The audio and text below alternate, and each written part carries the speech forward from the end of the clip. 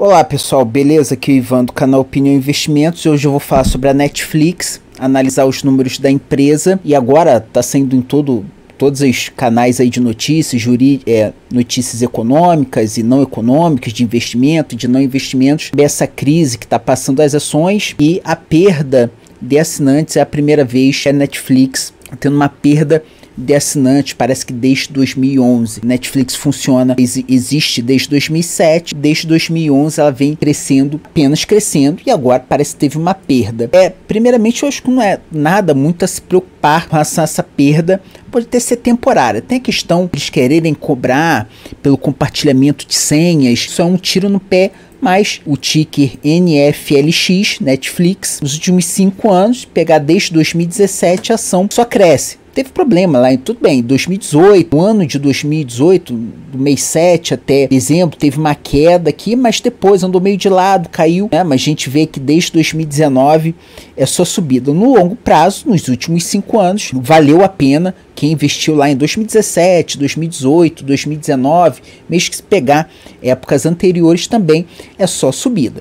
O que acontece que no último ano está aqui com uma desvalorização de 56, quase que 57%, chegou um topo histórico a 220 dólares, agora topo histórico 960, 691 dólares, agora está 220, é uma queda realmente bastante expressiva. E as notícias não são nada boas. Qual o problema? Uma notícia aqui da Folha: São Paulo Netflix divulgou perdeu 200 mil assinantes de janeiro a março desse ano. E qual o problema? O problema não é perder 200 mil assinantes. O problema é que ela já projeta perder mais de 2 milhões no trimestre atual. Quando você compra uma ação, quando as pessoas compram uma ação, eles não estão comprando a empresa atual, estão comprando a empresa futura. E compra hoje, quer obter um ganho de capital. Se, se ela já projeta que vai perder 2 milhões, a coisa não é tão boa assim. Também é aquele movimento, na minha opinião, de realização de lucros. Muita gente que comprou a 400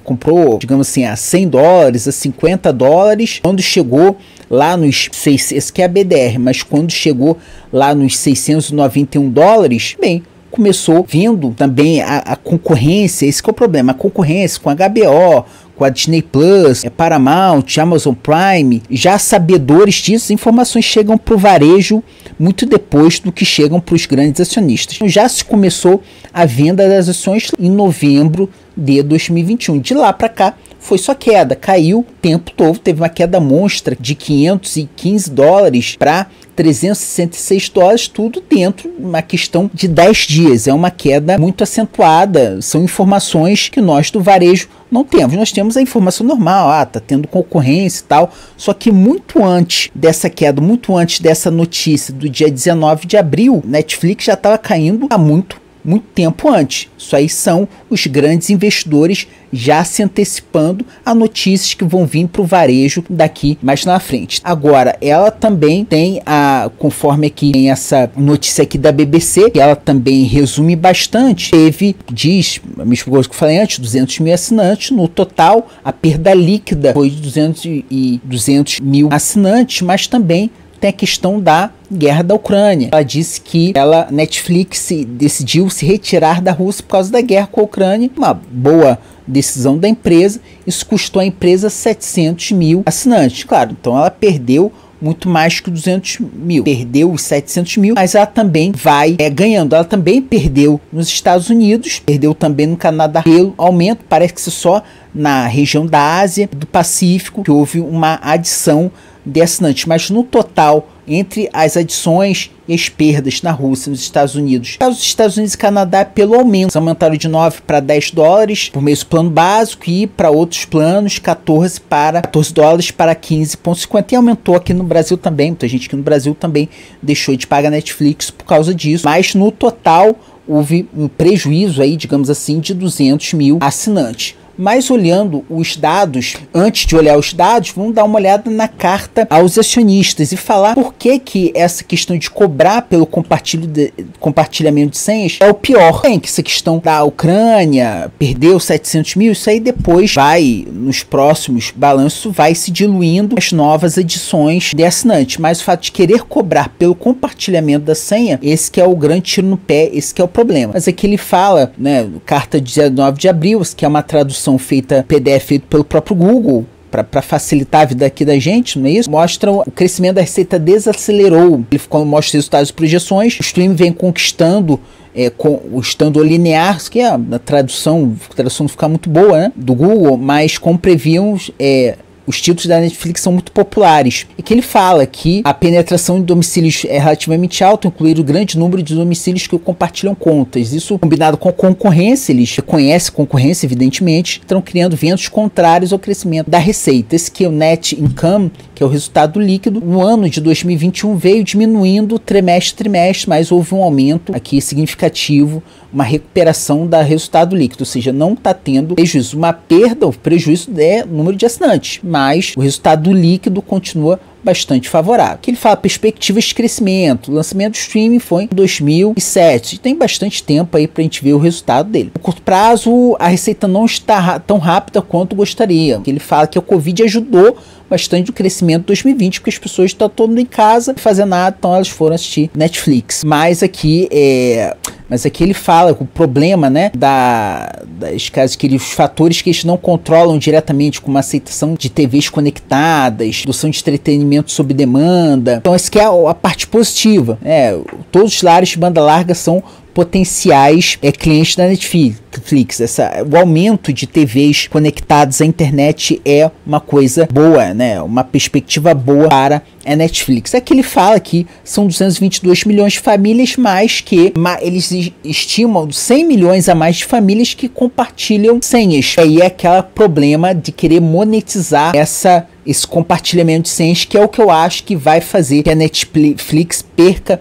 ainda mais assinante. Que ele fala que tem a, a parte ruim é que ele tem a competição o YouTube, Amazon, o Hulu, tem, tem Prime Video, tem o Hulu, não conheço, tem o YouTube, tem a Disney, e que ele fala, né, colocando aqui no Google Tradutor, parte do tempo total de TV nos Estados Unidos. Que eles falam de maio de 2021 estão comparando com fevereiro de 2022. O market share é que a Netflix ganhou. Tempo de TV saiu de 6% para 6,4%. O YouTube diminui um pouquinho. A Disney foi percentualmente ganhou bastante, de 1% para 1,7%. E outros, outros serviços de streaming também saiu de 8% para 9 pontos. Além das grandes, tipo Disney, Prime Video, ainda existem outras menores que também ajudam na concorrência com a Netflix. Fatores macro, como desenvolvimento econômico, no caso dos Estados Unidos, desenvolvimento lento, aumento da inflação, eventos geopolíticos, como a invasão da Rússia na Ucrânia, que fez perder aí essa receita de 700 mil russos. O que, como eu falei, decisão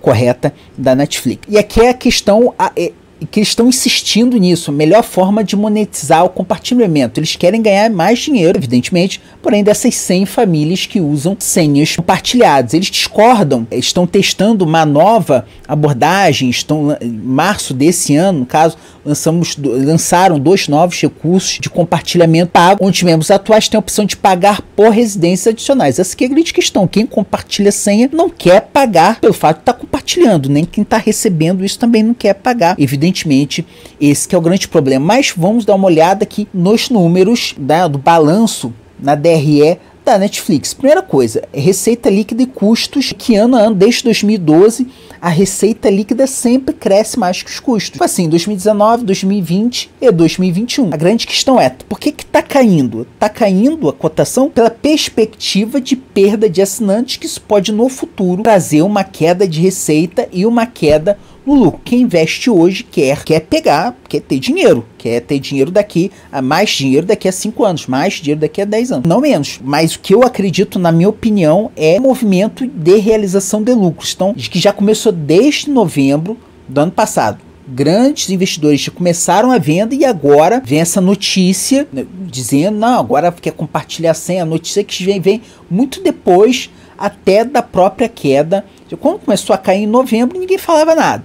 Agora que já depois que já caiu 40, 50%, vem com essa historinha de perda de assinante. Isso é bastante estranho, mas olhando os números, lucro líquido do ano passado para de 2020 para 2021, um aumento de 85,28%. Tá pequenininho aí na sua tela, no celular, mas saiu de 2,7 bilhões para 5,1 bilhões. No caso aqui tá em real. Tô olhando no status investe, site Brasil tá em reais, mas se dividir aí por 5, por 4,6, você consegue ver quanto que é isso aí em dólares. Mas e a receita também aumentando, receita aumentando, os custos sempre, desde aqui, desde 2018, que os, até agora 2021, os custos aumentam menos do que a receita líquida. E a, o lucro líquido aumentando, ano a ano, de um ano para outro aumentando 54%, de 2019 para 2020, 48%, e agora de 2020 para 2021, um aumento, lucro líquido de 85%. A Netflix é uma empresa ruim? Não. Eu só tô achando que realmente tem a concorrência. Será que essa é uma oportunidade de compra? Como eu sempre falo, não posso fazer recomendação aqui. Esse caráter aqui é só educacional. Se você ainda não é inscrito, se inscreve aqui no canal. Mas te ver que pode ser que seja uma oportunidade. Vamos ver aí nos próximos mais talvez ainda não seja o momento de compra. Pode ser com essa questão de compartilha sempre, tem que olhar o próximo trimestre dessa cobrança para ver quantos assinantes ela vai perder mais ainda, porque perdendo mais assinantes de cotação vai diminuir mais ainda. Vamos ver se ela vai diminuir, vai criar planos com propaganda, que ela está dizendo planos mais com valores módicos para as pessoas voltarem a assinar, ver se aumenta o número de assinantes aí com a cotação lá embaixo. Aí sim vale a pena comprar buscando aí no futuro um ganho de capital. Você tem ideia? A BDR já chegou a 77 reais, quase 78 reais. E atualmente uma BDR que você compra na Clear, na XP, na Rico, hoje está em 20 reais 75 centavos. Eu tô até torcendo para cair mais ainda, que é uma boa empresa, caindo mais. Com aquele dinheiro você consegue comprar mais ainda, buscando aí a volta lá. Imagina comprar isso a 18, 17 reais, depois quando voltar a 50 lá e realiza o lucro. Beleza, pessoal? Obrigado por ter ficado até aqui. Espero ver vocês no próximo vídeo.